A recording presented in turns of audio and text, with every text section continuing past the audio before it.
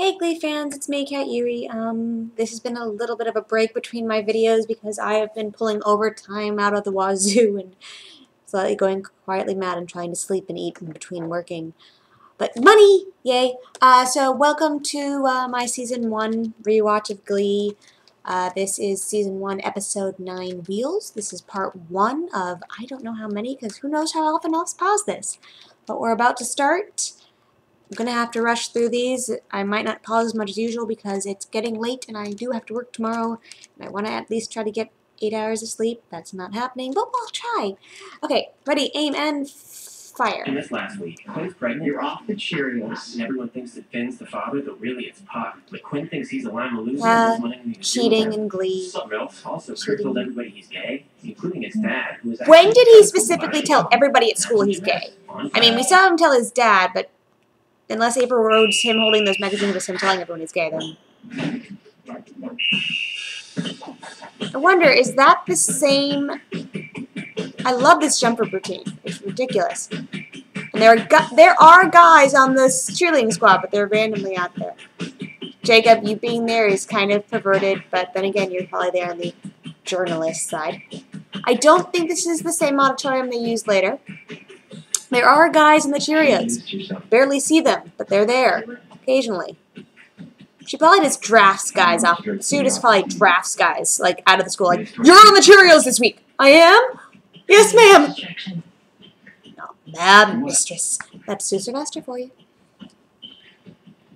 Okay, this is Quinn doing her. How is she getting to these appointments and her parents not know? Seventy-five dollars. That's how much a sonogram costs. This is just the beginning. There's gonna be more doctor's visits, vitamins, new clothes for when I explode. What are you gonna do? What are you gonna do? Quinn. I'm looking for a job. Cheating, lying. I'm hiring. I I almost got in at Olive Garden, but they said I was too tall to be a busboy. Somewhere in that pea brain of yours is a man. Access him and tell him to prove to me that I chose the right guy to have a baby with. I will. Didn't I would say I'll, I'll find a job. chose the right guy. She's specifically stating chose. I chose you over right. Puck. This does fit too much. My blog has lit up with comments suggesting you don't have a shot at nationals since you lost Quinn Fabray. Now the Cheerios are stronger than ever. We're gonna take nationals with this routine.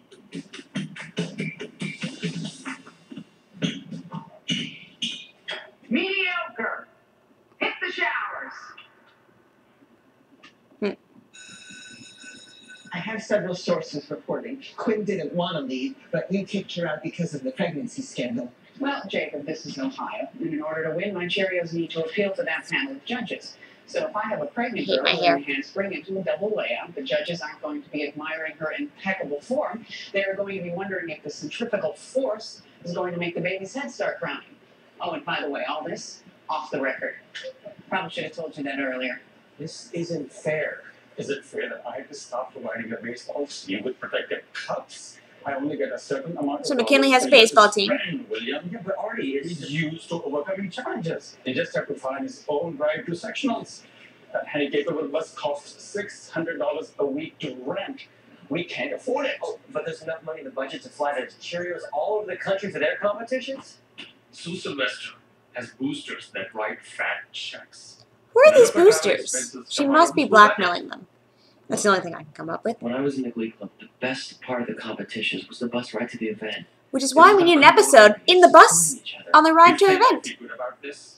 Which is what some people are talking about on Tumblr right now. Is actually we need a bottle episode or an epi- episode where the outside the usual. like, One person suggested we have a non-musical episode of Glee. That'd be freaky.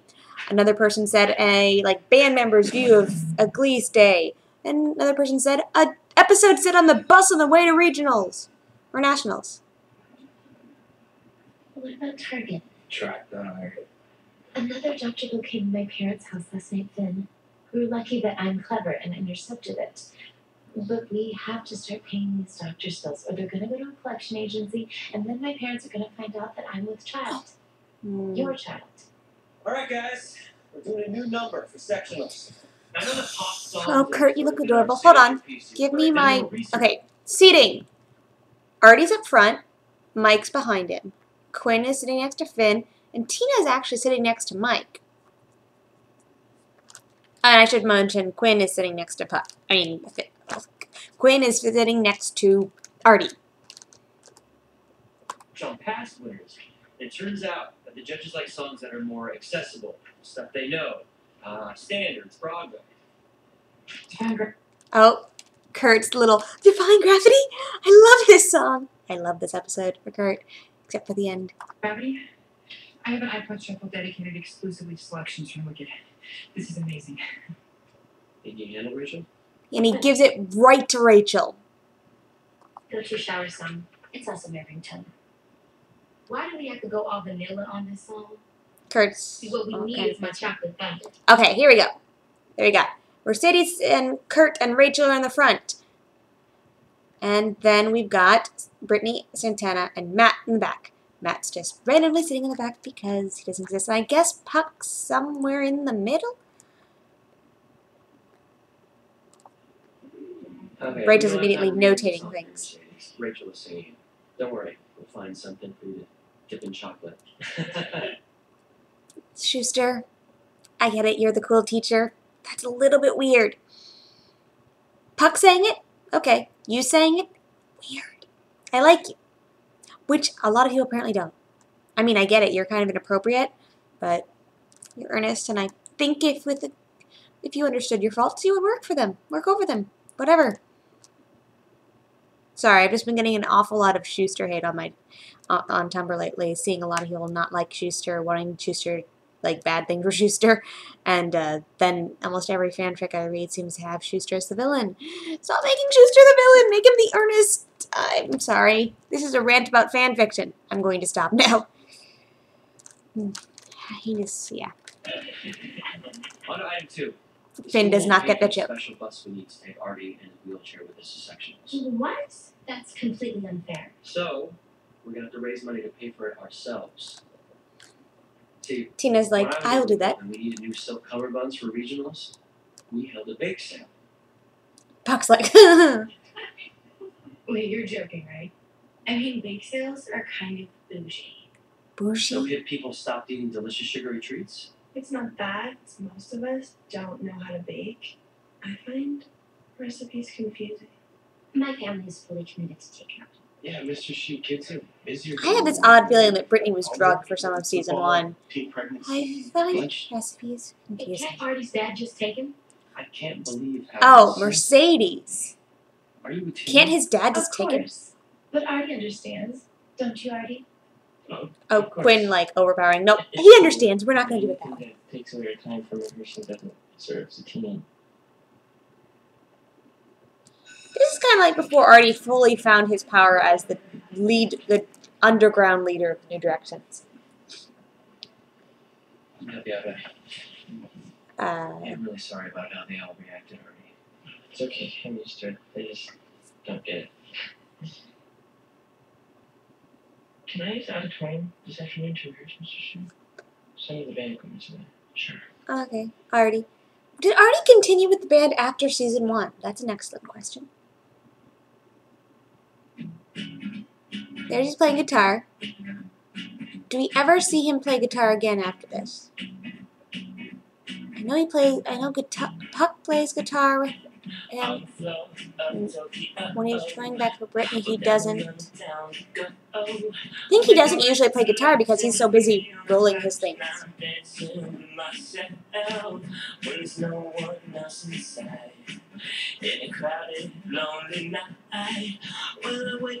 Okay, this is the McKinley Hall I know and love.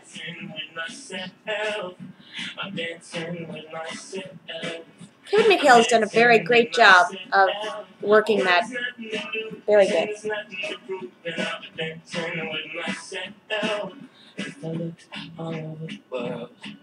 And there's every type of girl Put in the you Oh.